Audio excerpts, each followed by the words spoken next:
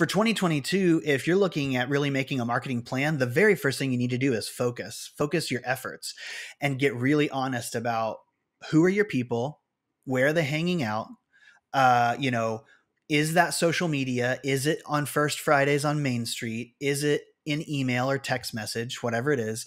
Is it at high school football games? And then you need to get really clear about the message you're going to deliver to those people in those places.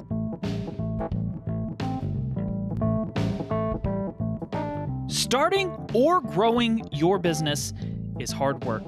But now you are listening to the Better Business Podcast with me, Steve Cook, and I'm going to try and make it a little easier on you.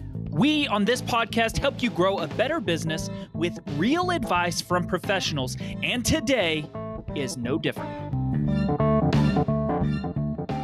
Hello, and welcome to another episode of the Better Business Podcast. I am your congested, stuffy host, Steve Cook, and today my guest is a man by the name of Chris Fox. Now, typically, when I do an episode, I do not know my guest that well. We've maybe talked two or three times before the episode. However, Chris Fox and I have worked together for coming up on a year now. Chris is our head marketing uh, agency that we rely on to um, do everything for us, uh, not only on this podcast and all of my personal brand things, but also at my family's business, Cook, Feed, and Outdoors. So, me and Chris today are talking about the 2022 marketing plan that each and every retailer should have. Chris started his company Fox Strategies because he realized that most businesses struggle with marketing. So, to help business owners create more marketing, or he helps create helps business owners create marketing that they can easily use to grow. He understands how small business owners feel because he spent more than 15 years of his life in small business and nonprofit marketing. Chris now specializes in how to build an audience and then what to say to them once they're listening. He is a certified marketing guide through StoryBrand, a frequent public speaker, and a passionate small business advocate. When he's not building marketing strategy or content, Chris loves to read, hike, and spend time with his lovely wife, Heidi, and their three wonderful children. Christopher, welcome to the show. Thank you so much. I'm so glad to be here after being behind the scenes all these months here you are front and center. Say what you want to say. Get it out now. Uh, no i really do love the podcast. Um, we my team and i were just joking uh, the other day about how we're paid to listen to this podcast but we've also learned so much. And so we keep recommending it to people and saying like hey you've got to go listen to this podcast. Like we're not just saying that because we produce it. You need to listen well, I uh, yeah, you you and your team probably listen to it more than anybody. So, as my number one, we uh, hear number we hear one everyone. fans, yeah. I, I appreciate you. I love it. Heard every episode. All right, so today something that you are an expert in creating a 2022 marketing plan and today I want to focus on specifically kind of the retail audience. Of course, you know, I think marketing for an e-commerce uh, brand or an e-commerce company that's going to come with a whole host of um, google social media mm. you know mm-hmm. backlinks this and that and you know all kinds of different things that go along with that but i want to focus on like a retail marketing plan um, somebody that you know it's a mom and pop store something like that where they need to drive foot traffic in 2022 mm.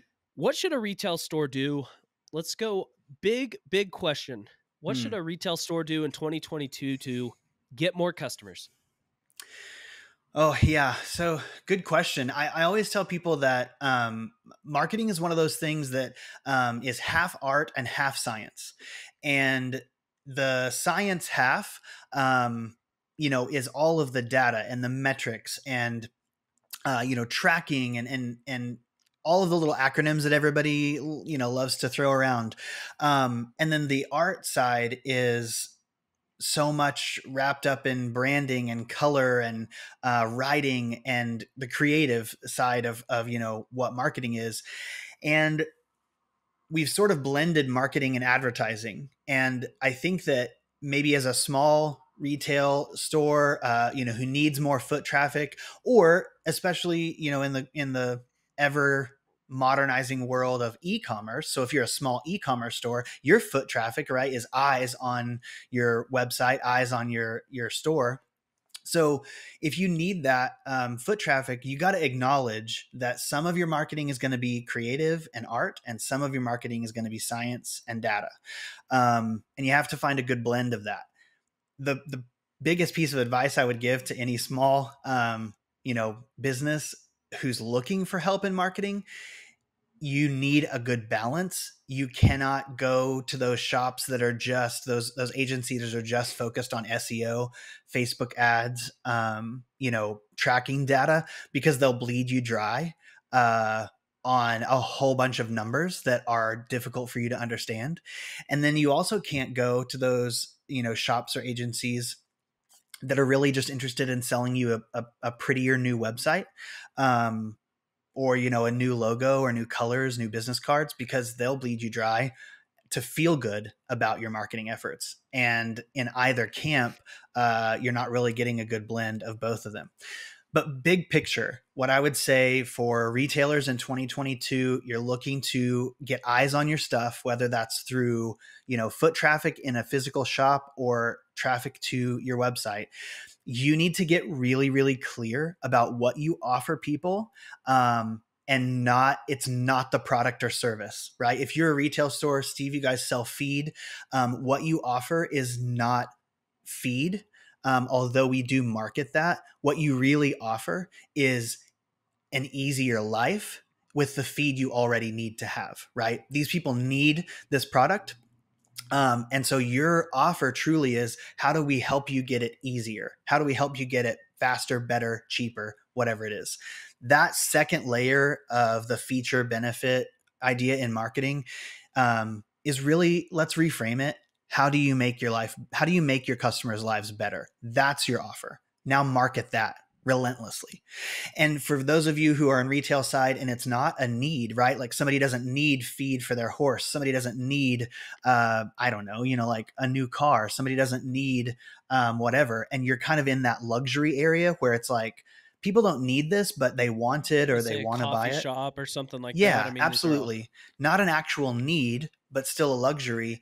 The thing is, you still make people's lives better. So that's still your angle, right? So um, if it's a coffee, you know, stop by today on your way to work for a coffee to start your morning right. The idea of getting your day started correctly um, is in no way a physical product, but it is an outstanding offer from a local coffee shop. So take a step back even farther, though. I think a lot of times when people hear the the term a marketing person or something like that, they're like, "All right, they're gonna you know update my website, my social media pages or whatever through your experience with obviously our companies and, and your other clients is there anything that you know marketing in general the idea of marketing is to like you said get eyeballs on your what you're selling or to get foot traffic in your door. What should people do? I mean is there anything outside of the box that you've seen um, in 2022 that people should maybe pay attention to focus on? That could be in-person events. That could be you know uh, whatever they they held a car wash and look how many people showed up or whatever it is yeah. is there anything that you've seen maybe outside of the box that people should think about or focus on?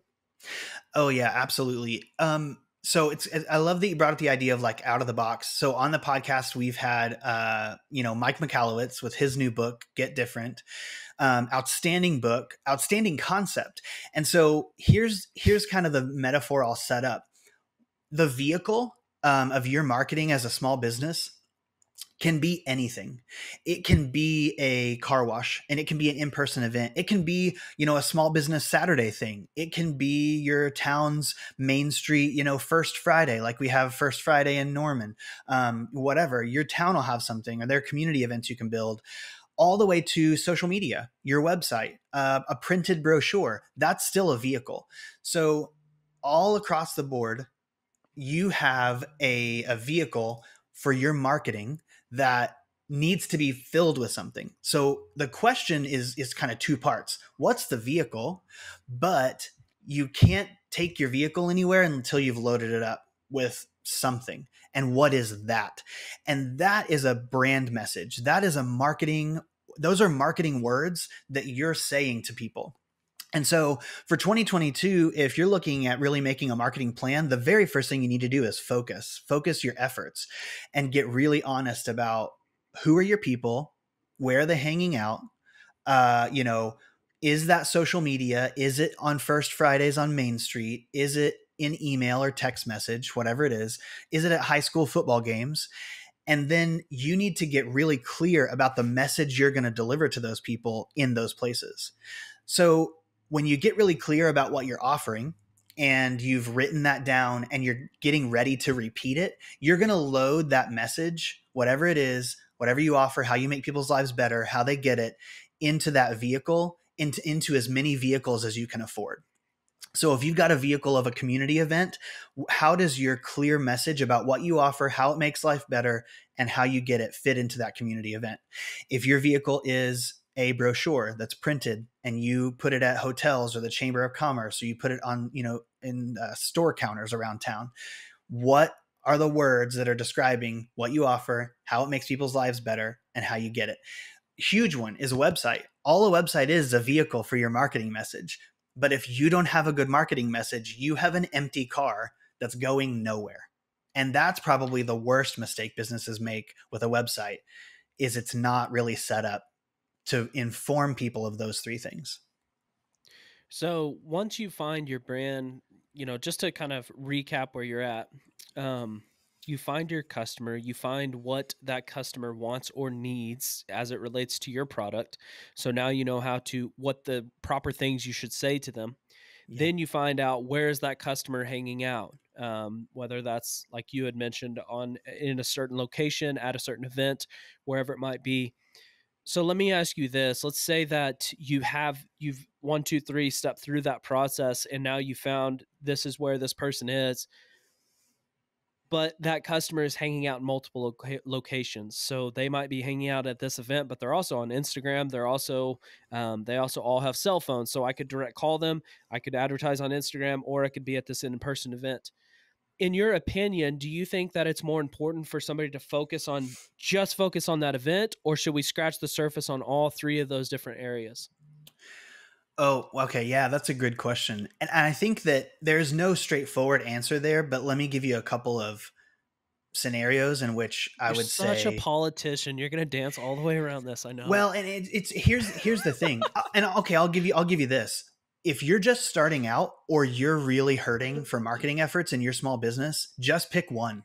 Pick one and and just do it as much as you possibly can. And so if that's Chamber of Commerce stuff, if you feel like your people are at the Chamber of Commerce and you're a B2B small business or you know if you're a retail like we were talking about earlier small retail and your people are just in your in your hometown or whatever find the vehicle, the place that you can market there, and go all in on that. So if it's the Chamber of Commerce, go to every stinking event that they have. You know, take out the ad in the um, chamber book, sponsor the event, go to the annual awards, whatever it is. Um, if you are, you know, a local retailer and you got a local football team who needs sponsors and you know that your people show up to those football games on Friday nights, then you take out an ad you know next to the scoreboard or you put sponsor like the field goal kick so your business name gets mentioned at every field goal and here's an extra tip don't just let them put your logo up on the screen or up on that billboard. You need to write a little message that says what you offer, how it makes people's lives better, and how they get it with your logo. And we call that a one liner in the story brand framework. And you put your one liner up on that scoreboard every time there's a field goal that's outstanding marketing and you don't have to open Instagram and you don't have to pay a printer and you don't have to build a website. Now, those other things may be necessary at different times, but if you're just starting, pick one. If you're really looking to diversify, or like you said, Steve, if your people hang out at multiple places, it's not a bad thing to quote unquote scratch the surface of several different channels in marketing if and only if your messaging in every single one of those channels is lockstep consistent with the other channel. And go back to that one liner. So, that one liner, quick formula again, uh, it's, you know, what you offer, how it makes their lives better, and how they get it. You write a message like that and you put it in your brochure and you put it on your website and you put it on the billboard at the high school football game and you put it uh, you know at the chamber uh, event that you sponsor or whatever and you scratch the surface. So if you're looking to go to the next level or grow then your investment in marketing and hear me is not you do not change your message. You do not rebrand your business. You go to new marketing channels new vehicles and you put the same reliable clear message into that vehicle and you run it. All right. So since you're my marketing guy, I get to push back on things you say. So I want to Okay. ask you with that with that, what if let's say you're a grocery store and you're a small hometown grocery store and so you've Yeah. decided that you're going to sponsor the high school football team and you have you know that the majority of people at a high school game are probably watching the game are 40 to 65 or something like that because they're either parents or grandparents for the most part. Okay. And so that messaging might be, you know, shop at your small hometown deal, you, the grocery store, blah, blah, blah. Yeah. However, you also run Instagram ads and it's come by for lunch um, during your school break and you advertise that to 16 to um, 18 year olds that are located in that small hometown. If your messaging is different, do you think that's a bad thing or is that not exactly what you were talking about? Ooh, yeah. Okay, great question. So, everything that I've said before is single customer persona focused. Oh, So- if you have different customers, that changes. Yeah. the- Yeah. If you've got just one customer that you serve and it's kind of in one persona, you have one message and you put it in as many channels as you can afford. If you have multiple personas, so take our grocery channel, our grocery store example. Technically, what you just described is a grocery store that also has a lunch counter inside of it, right? And so those really are two different products, and we're we're talking Mm. it to two different audiences. And so that's where you would then get focused and instead of putting up on the high school scoreboard on a Friday night, come by during lunch because you've realized most of your younger audience isn't uh, you know isn't at the game or isn't looking at the scoreboard. They're looking at their phones and they're on instagram even during the game. You or the girl then they're you trying to take on a date. yeah focus is elsewhere. Then you then you really split your marketing budget to the two areas that you're trying to sell. Our lunch counter monday through fridays you know noon to one and our saturdays and sundays when all the families in town are out on their grocery runs and you get really clear about how it makes life better for each of those people. So we've got a you know 16 year old sophomore at the high school. The lunch counter may make life better because it's easy cheap fast lunch. You you walk in you get it you walk out your life is easy right? It's not waiting it's not hard it's not expensive. If you're the grocery store side of that business and your your persona is the you know middle aged um, mom who's shopping and wants to save a buck but does want to support local then maybe your message is we honor the big box retailer coupons while you know supporting your local community and so it's easier to shop here and you don't feel like you're wasting money so those messages then go out to your separate channels Yeah, that's great. Great clarification on that because I knew I knew where you stood on it, so that's why I was uh yeah I was making sure that that came across clearly. What do you think when talking about this, you know, just surely there's certain businesses and things like that that are running through your mind um, of poor examples. What do you Mm. think is the biggest waste of money when it comes to a 2022 marketing plan that that small businesses, in particular retail businesses, waste their money on? um biggest waste of money in 2022 for retail businesses oh man oh man um I'll, I'll say this and it's a little bit of a political answer so i apologize.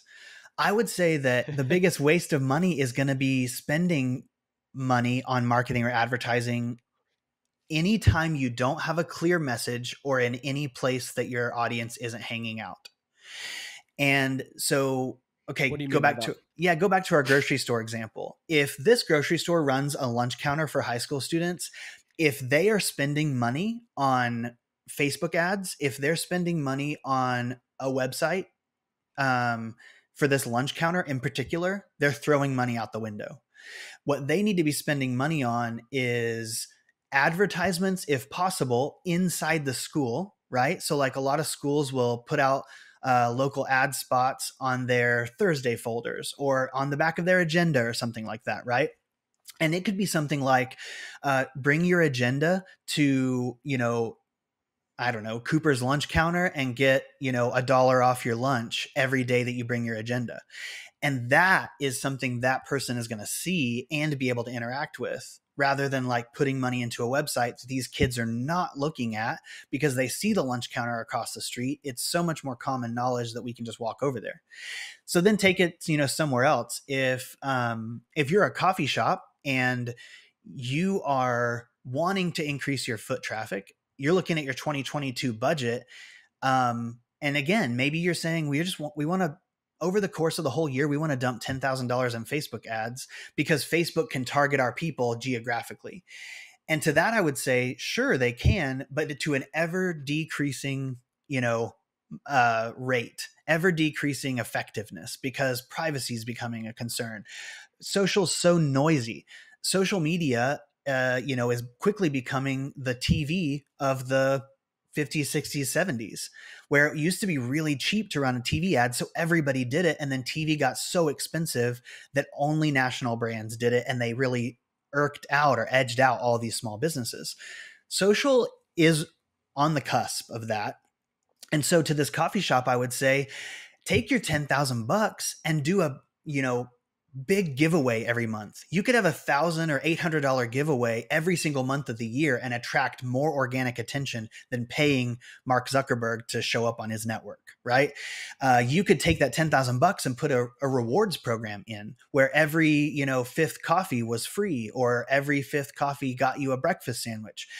Think outside the box, like you said earlier, about ways that motivate people your people, right? Like these are your people. Who do you want coming to your business? Think about ways that motivate them as a way to spend money rather than just wasting it on the stuff that you heard was great or you think you need to do. There's a lot of marketing where business owners feel good about it, and social is a big example of this. If you are struggling with your marketing and you post on, you know, Instagram and Facebook two times this week, you feel good about the marketing you did, but you have no idea if that's actually moving the needle because it's not part of a real plan. And social media is the biggest culprit in this because we get to do it quick, fast, and cheap, right? Or quick, easy, and cheap. I'll say it that. You pull out Instagram, you post on your brand's channel, and you're like, ah, oh, good, I did a little bit of marketing today. And it's not going anywhere. It's not doing anything. There's no strategy behind it. Take that you know 10 minutes you would spend on an instagram post over the course of a month and think on a giveaway think on a rewards uh, program something that's really going to mean something to your people so as far as if you had to take a, a baby business or somebody that maybe they have had a great business for even 50 years mm-hmm. however mm. they're like i need to market I yeah. need to get out there more. I need to build a website or whatever. We don't even have a website or, you know, they're just been word of mouth their whole life. Or, like I said, maybe it's a new business that mm-hmm. is just kind of getting going in the last year or so. What is a one, two, three step process for what are the kind of the basics? Like, come on, you have to have this yeah. um, things. Of course, I know that eventually you could like you said run run google ads or, or tv commercials and there's there's m- millions of endless opportunities for different marketing channels. However, yeah. what, in your opinion, is kind of a one, two, three baby step process for marketing? Yeah. Um, so if you're a if you're a a business of any size or age, right? Yeah, like like you're saying, Steve, and you're just getting started in marketing. Um, the best thing that you can do as a one, two, three, first, you're going to get clear about what you offer we have hit that already, but um, that's the grunt test. What do you offer? How does it make their lives better? And how do they get it? So get clear and write that stuff down so that you can repeat it, right? So you can go back to it. So, first step is to get clear about your offer. The second step is to find a way to build a relationship. And this one is huge spectrum, but if you're going to take a potential client out for coffee um, and introduce them to your offer tell them a little bit about your business, ask for the sale or whatever. That's a sales funnel, but it just happens face to face over one or two coffee meetings. On the other end of that spectrum is is digital marketing as it's as its big behemoth self, right? It's uh, awareness through a website or a Facebook or an Instagram ad, all the way through to more information and enlightenment, and then commitment for a buy now or a you know book a call or whatever it is. And there's a whole big structure. All of those things, what you need to realize are just relationships. They're just plans or funnels for a relationship. So my plan is I take a prospect out for coffee, we talk about it, I gauge their interest, I send them some information when I get back to the office, and then I schedule dinner with them in a week. And at that dinner, I'm going to try to close the deal. That's a sales funnel. That's a client relationship. Same thing digitally, but maybe times a thousand, right? A thousand people are going to see my Instagram this week and visit, and 500 of them are going to visit my website and get more information. And 20 of them are going to book a call with me and I'm going to get on that call and I'm going to try to sell them and I might close five deals. That's still a relationship. And the important part about that relationship is top to bottom, all of your messaging needs to be consistent. It needs to be building trust and convincing this person that you're the expert on solving their problem. So you go back to that number one. That's why you get clear first. And then number three is have a plan for what happens, right? When someone says yes or someone says, I'm interested. So your sales process at the end of all of that is something you have to scope out. You really have to write it down. So let's take a mom and pop example people who are traditionally in a role where they're like, oh my gosh, this is way too much marketing for me. I would never do all of this and let me push back to them and say, get clear about what you offer. Why are you important to these, you know, 100 customers that you see in the course of a month? Why why do why do they care? What problem do you solve for them? Write that down so that you can say those words then to other people on social media, on a sign or a banner out in front of your business, at the local chamber of commerce, wherever you're going to be, you're going to say these words. Then develop what you know as your relationship how many times does somebody visit your shop before they buy? right? If they come into your shop, maybe they're just browsing and you offer some kind of value, you answer a question or you give them a card to come back for a discount when they've decided to buy.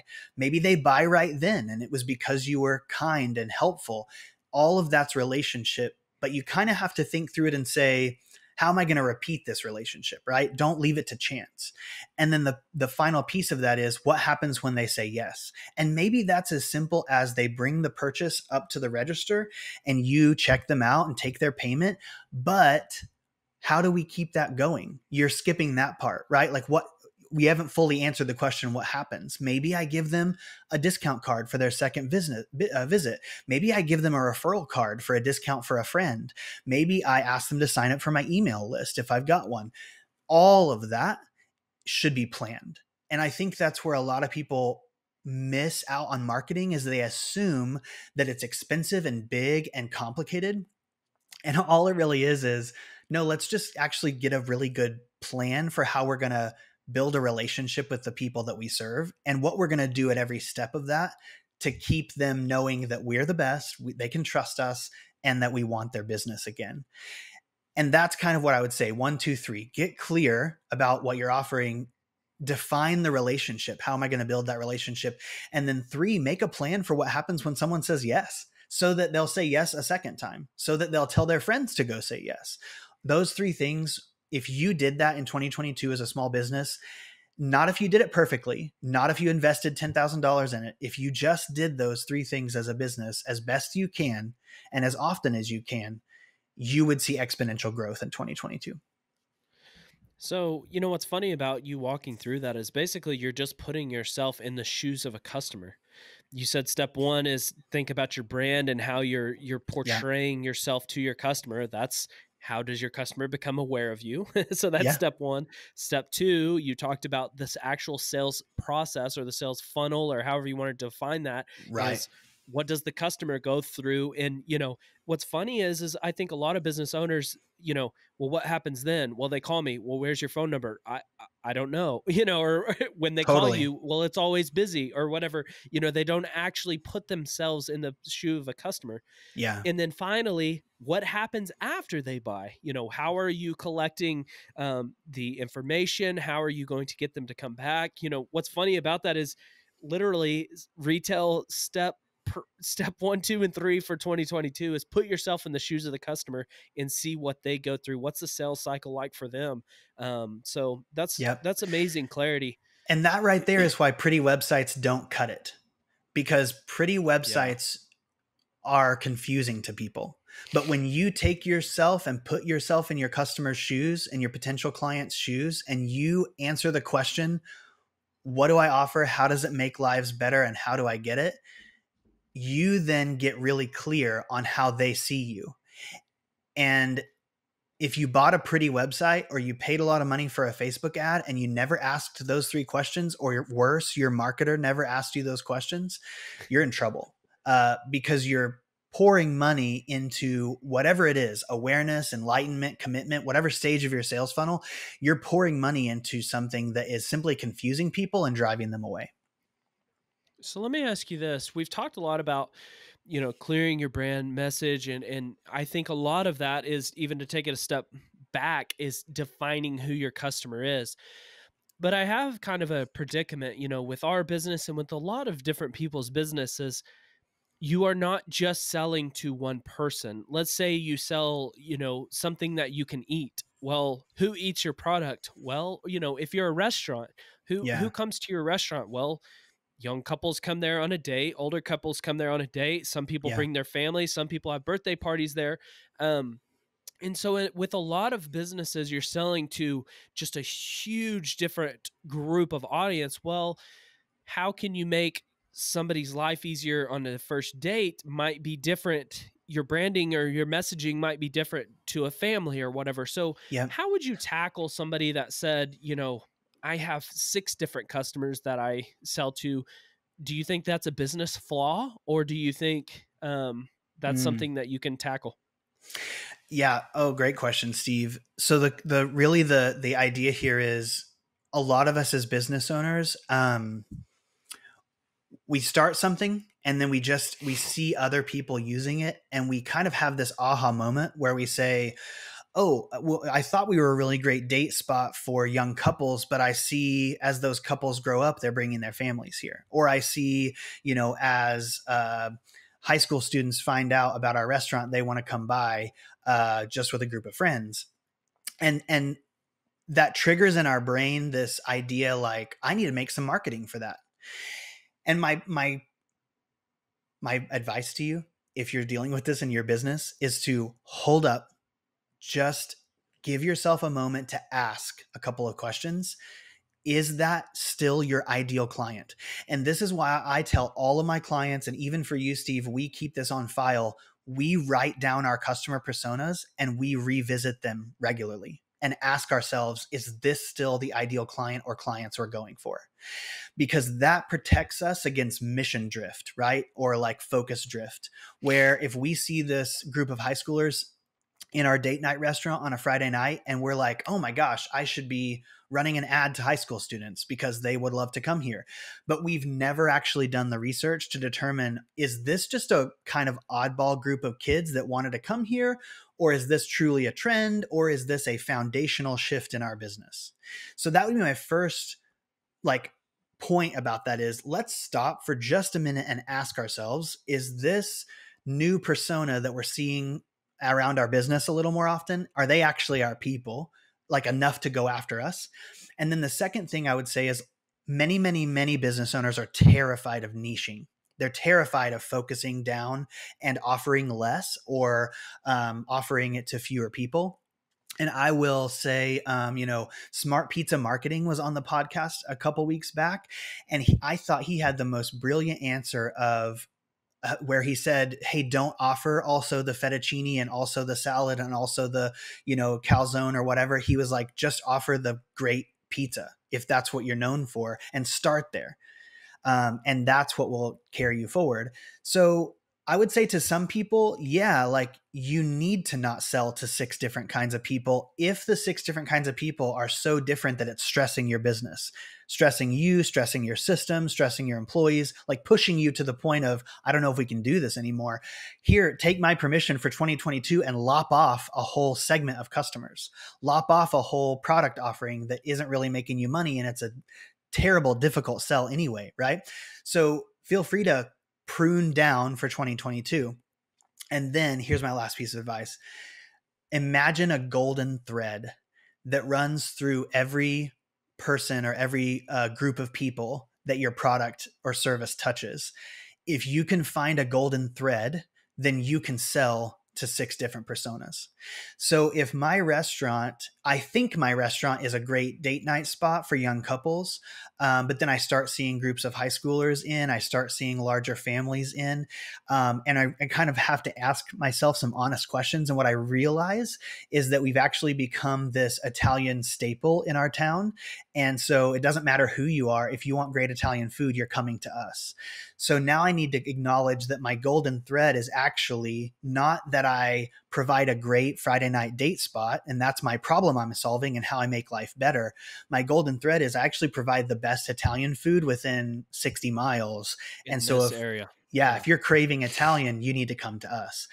Um, so the the message can shift over time. I always tell people be very careful um, about changing your messaging once you've gotten really clear but if you are ready to go to the next level and to and to expand your offering to more people you have to find that golden thread. What's the thing that ties it all together in a clear way that still says what you offer how does it make their life better and how do they get it you know, I think uh, in his book, uh, Mike Michalowicz's book, uh, Pumpkin Plan, it's one of my favorite books that I've read in the last few years. He talks about this same exact idea, but he talks about it from the the customer persona side. That what happens as you build your business is that, and I, I, I think why it was so powerful to me is because I watched it happen and you yeah. what happens is is you you have one person come in and they say can you also order this or can you also offer this? And you say you bet i can.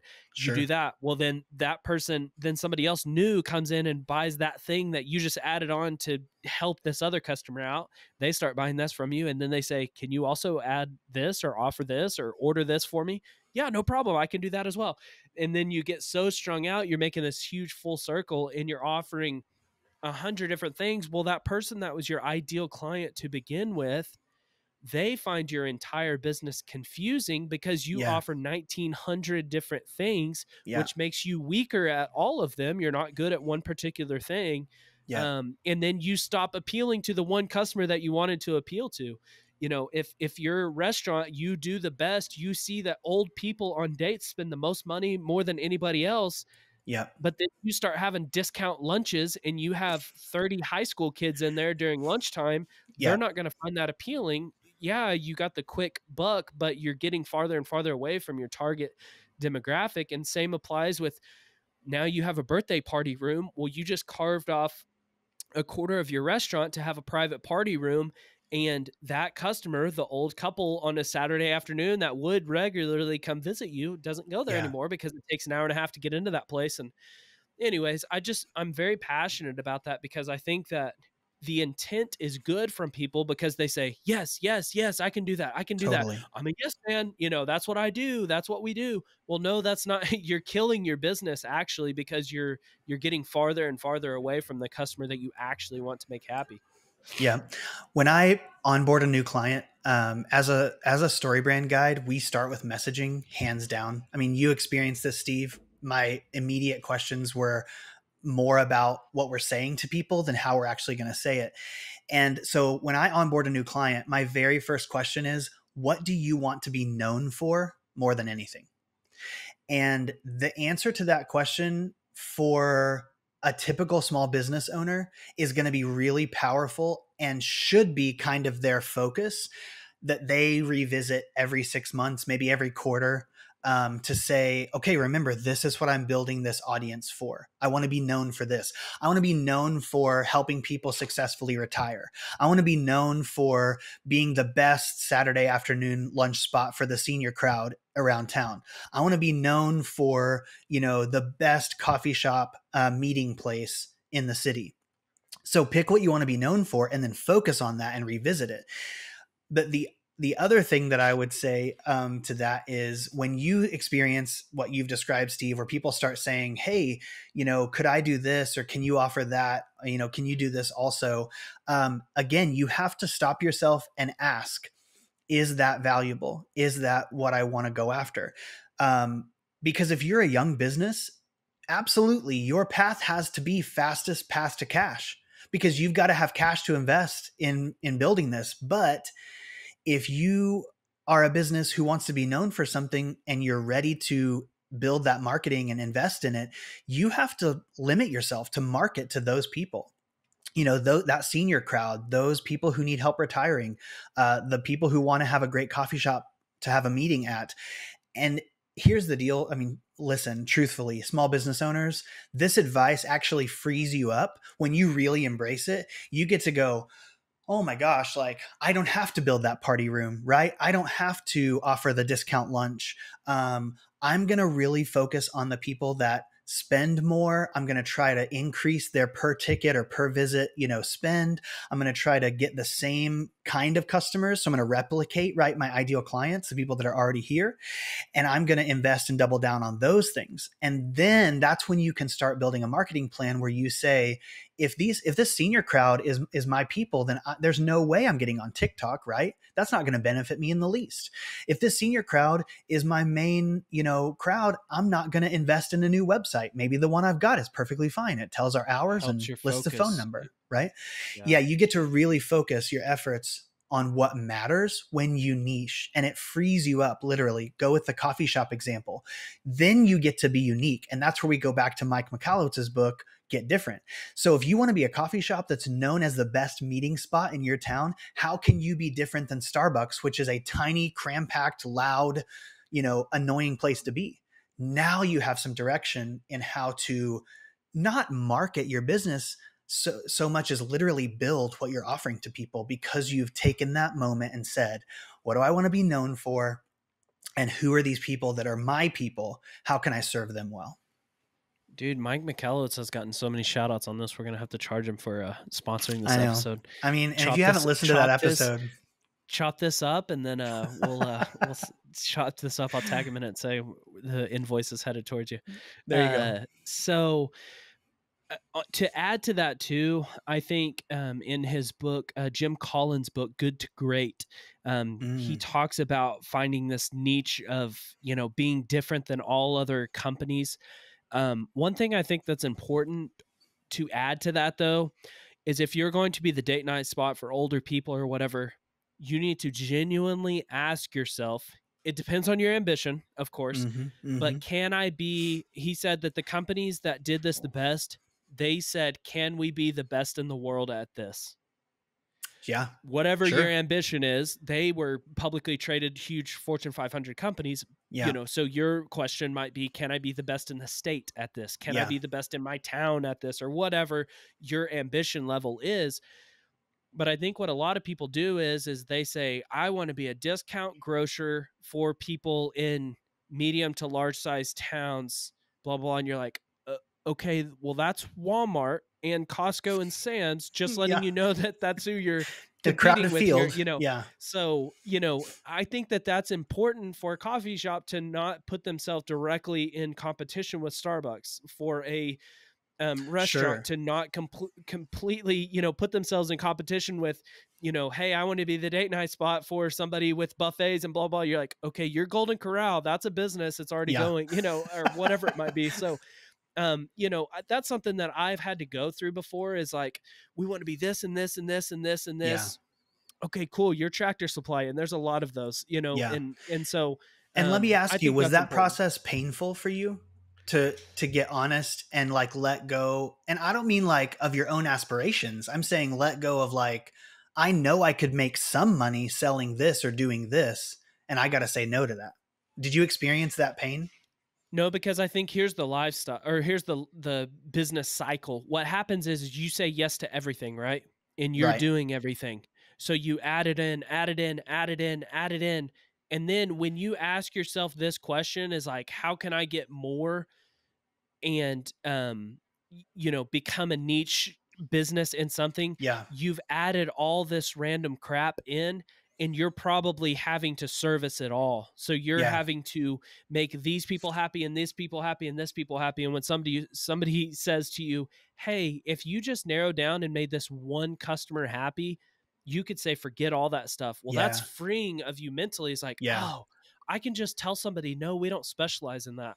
I can Yeah. just tell somebody, "No, we don't have a discount for large meals because we actually cater to two people um two people Yeah. on dates and older people." You know, no, we don't Yeah. have high chairs because all we cater to is to, to older people on dates. You know, Yeah. it, it was freeing to me to say, we focus on the equine customer. So, no, we can't special order that dog food because there's Yeah. 347,000 different dog foods.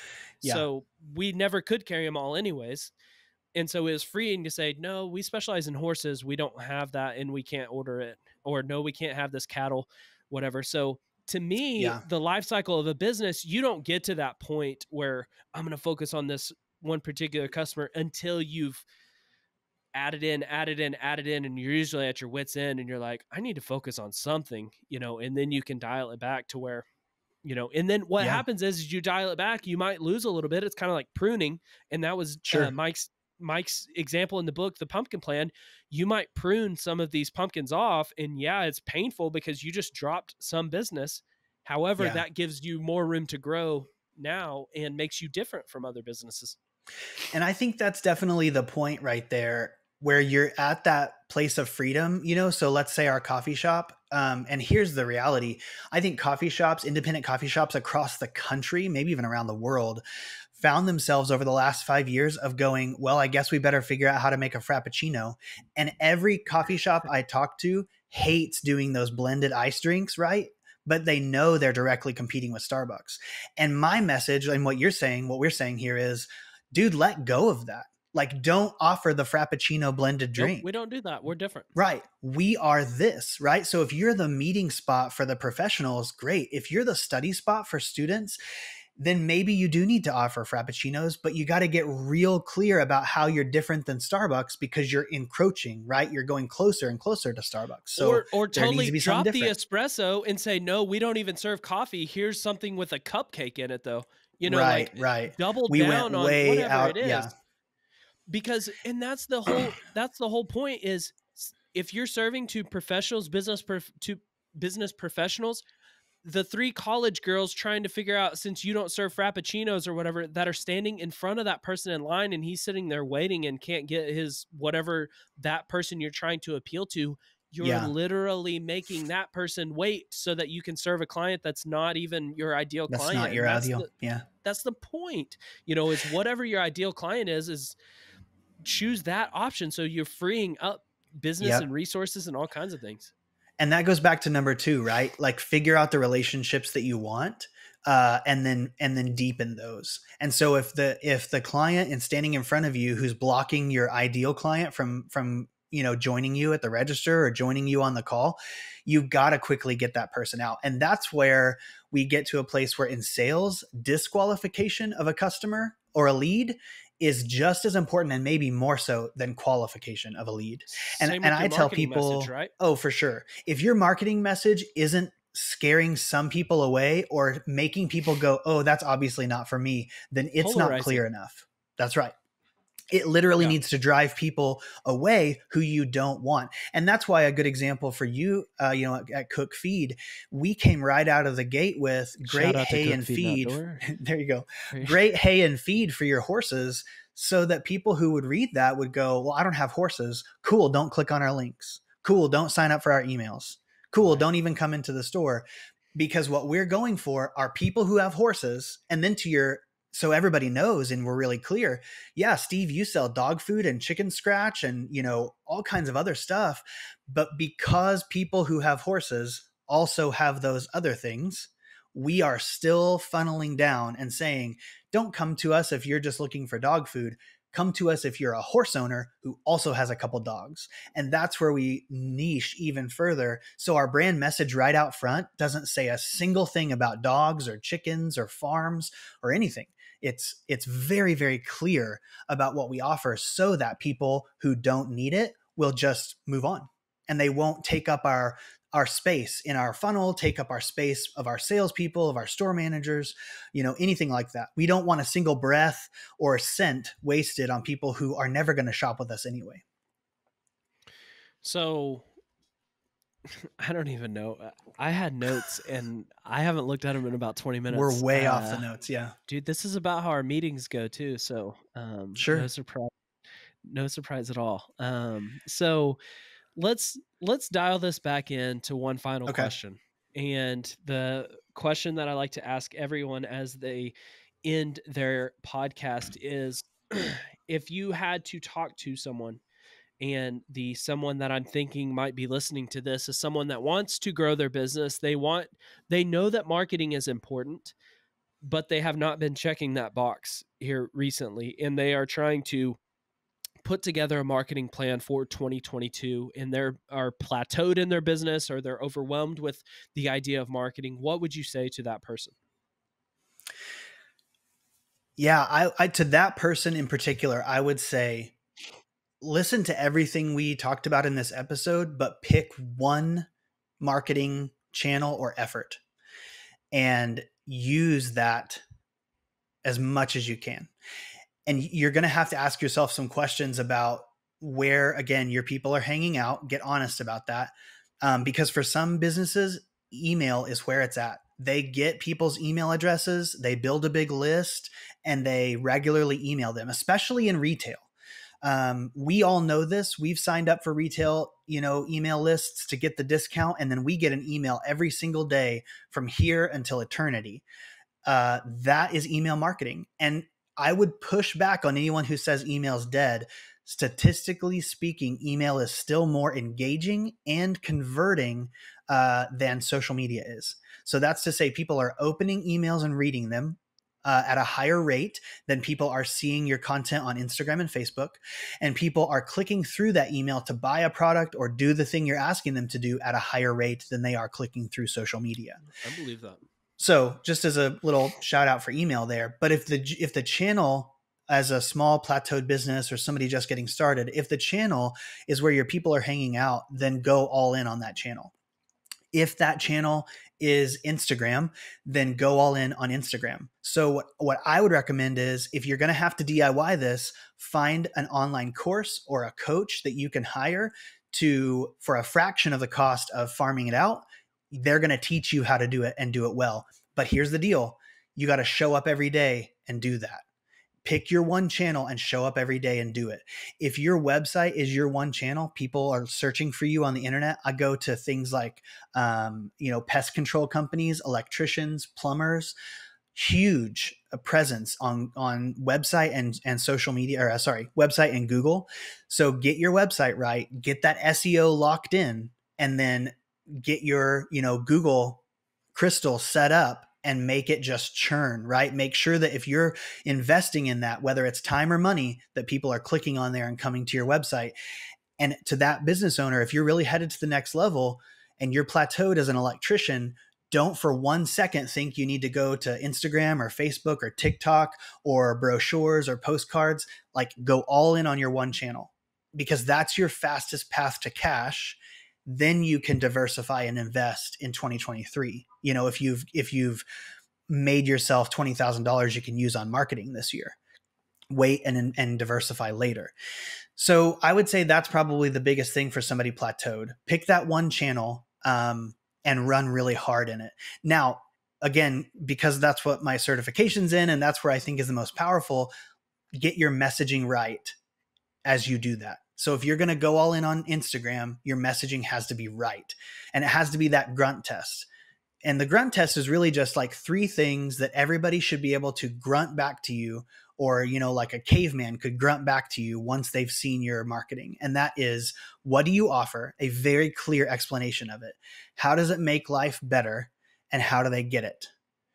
And you need to you need to work on this. Like you don't need to just sit down at Instagram and answer those three questions in a post and then next week come back and write something different.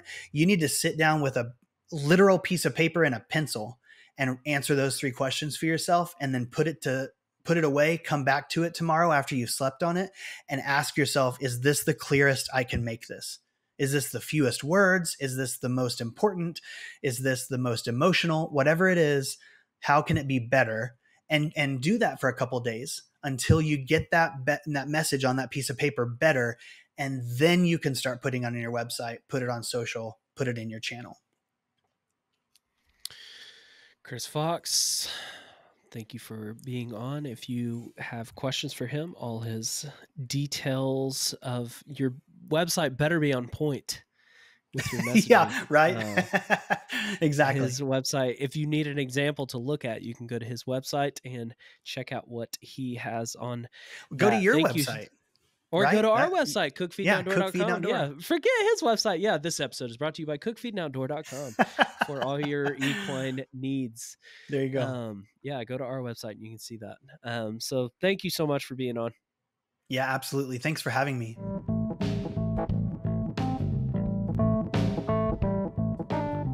Hey, thank you so much for listening to another episode of the Better Business Podcast with me, your host, Steve Cook. You know, starting or growing a business is hard work, so I hope that today's advice made it just a little bit easier for you. We'll be sharing more about this exact topic all this week on my social platforms. You can find me on Instagram, LinkedIn, TikTok, or if you would like to get a, a personalized blog post from me on this topic, you can join my email list and I will send you an email once a week. You can check the show notes to subscribe to that or find me on my website, whatever's easier for you. Now get out there and go grow a better business with this advice from today's Real Pros. Thank you for listening.